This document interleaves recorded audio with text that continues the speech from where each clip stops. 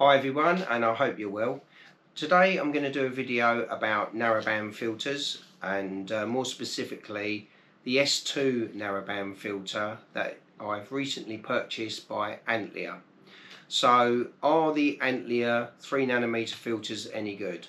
Well stick around and hopefully I can answer that question for you. My name's Glenn and you're watching Astrobloke.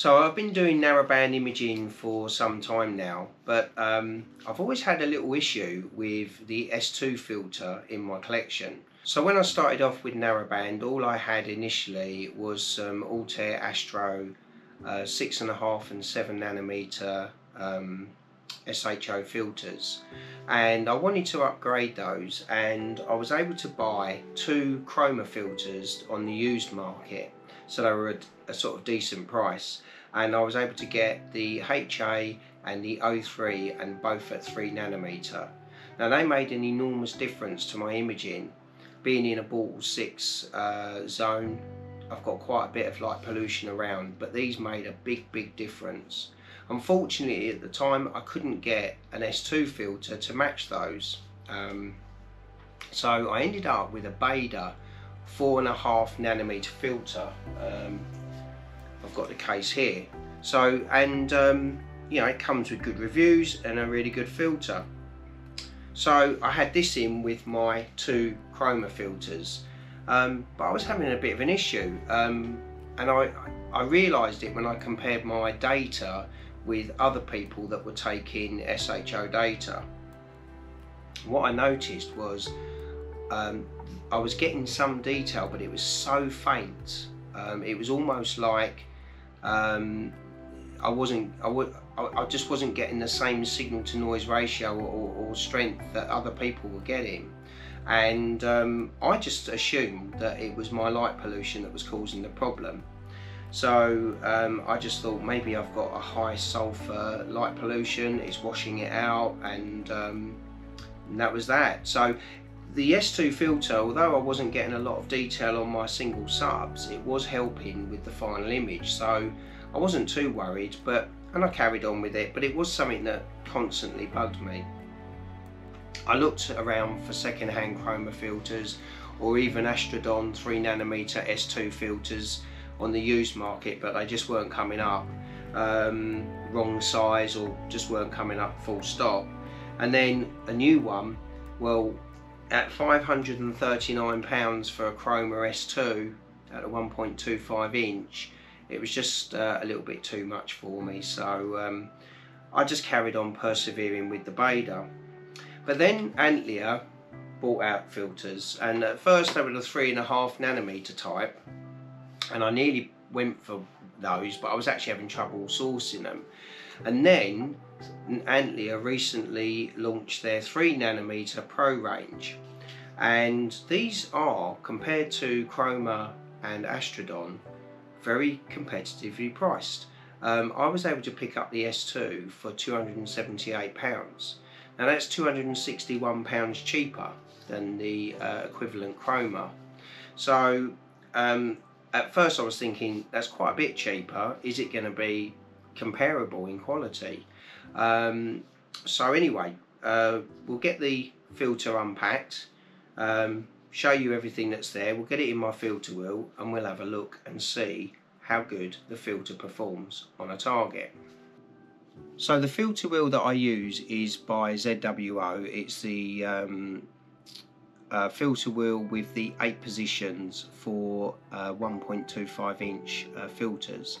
Um, it really good filter wheel actually. Um, I have the um, the other filter wheel by ZWO of these size filters which only holds five and although it's a lovely small size and works really well it is a bit of a pain that you've got to take it apart and swap your filters around if you want to go between LRGB and SHO so I am thinking of actually changing that filter wheel for an, another one of these so that I've got the convenience of being able to do the whole range of filters in one go so once we get this open we'll remove the Baader 4.5. As I say, it's a very nice filter, but I'm really hoping that the extra narrower uh, 3 nanometer pass of the uh, Antlia is going to give me some improvements. So I'll just put the Baader away and we'll get the new Antlia filter out. So here's the Antlia, it comes in a really nice magnetically closed crystal case. Um, it's almost a shame that it comes in such nice packaging because once this filter's in the filter wheel it's going to stay in there and this packaging is just going to sit on a shelf somewhere um, so it comes with a little report as well showing the uh, wavelength of the filter and that is at um, 671.6 nanometers. Um, it says that it's very effective at cutting out light pollution especially from artificial sodium and mercury lights. So um, that will be good. And it also says that it does not suffer from halos because it has a very quick drop off and a good to excellent signal to noise ratio quality. So all the paperwork says good things and I just hope that it's going to actually be an improvement. On the price side these are great so um, you know uh, it's, it's nearly half the price of a chroma or astrodon filter of an equivalent uh, model. So um, yeah uh, if it performs as well at half the price these are going to really grab the market I think. Or chroma and astrodon are going to have to think about dropping their price. So we'll just get the old rocket blower on this and then we'll get this into the filter wheel and uh, some filters especially of this type I, I notice with my chroma ones they're a little bit deeper in the body to uh, other makes. Um, and if they're not fully screwed in they can actually foul on the edge on the sort of surface of the cover for the filter wheel. So be aware of that. Make sure they are screwed all the way home uh, before you try and put the filter wheel back together. Right so that's gone in nicely and we'll get the filter wheel put back together now.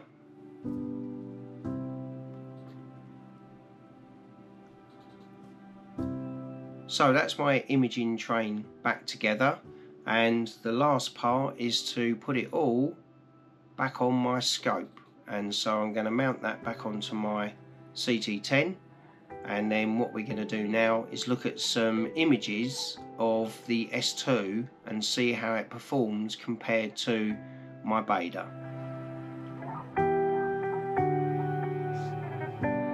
Okay, so jumping into PixInsight, I've got the two images of the Pac-Man Nebula in front of me in S2.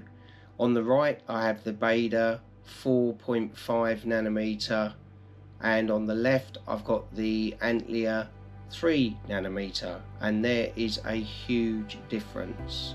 Uh, I can see on the Baader not much nebulosity showing and the stars are really quite intense. The Antlia, the stars are much more uh, controlled and the nebulosity, well it's night and day, there's so much detail there. So I can really see a massive difference. The um, Obviously the 3 nanometer has a big advantage over the 4.5 nanometer.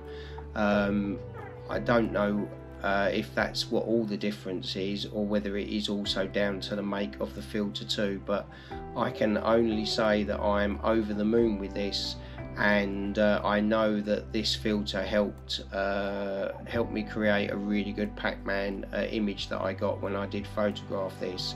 So I'm a really happy person with this filter and uh, I'll be honest uh, based on this I think I can recommend it. So yeah really pleased. The Antlia S2 3 nanometer filter. I think you can see that there's been an enormous improvement especially on the filter that I had before and I am extremely happy with it. So it, uh, it looks like it performs extremely well even though it's a lot cheaper than the uh, equivalent Chroma or Astrodon filters. So I'm very happy. I'm also looking at, now at uh, Antlia's got a range of uh, Series V Pro LRGB filters. So I'm actually looking to see if I can get myself a set of those. Um, and if I do, I will report back to you uh, my findings. So if you have any questions about the video that I've just done, please pop a question in the comment section below. I do try and answer all of my questions. And until next time, please take care and I'd like to wish you all clear skies.